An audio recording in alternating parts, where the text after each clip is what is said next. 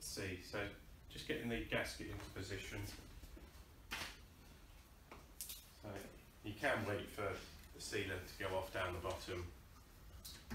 What I do, just roughly get a little bit into position at the top and then come down to the bottom, making sure it's not twisted around. You want to get your best seal at the bottom to make sure it's doing what it needs to do.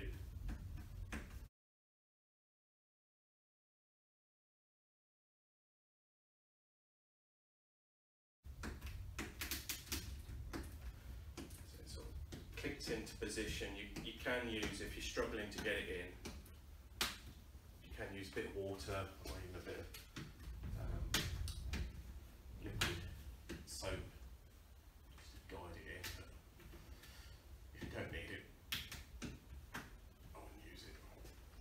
So you get the squeezy tool. So run that up and down the length of it, making sure you get a nice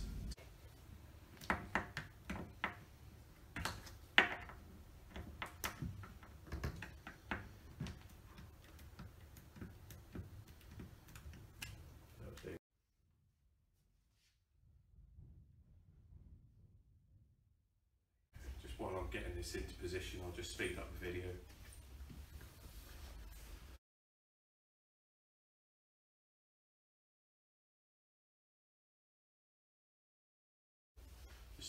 So, that's step C completed.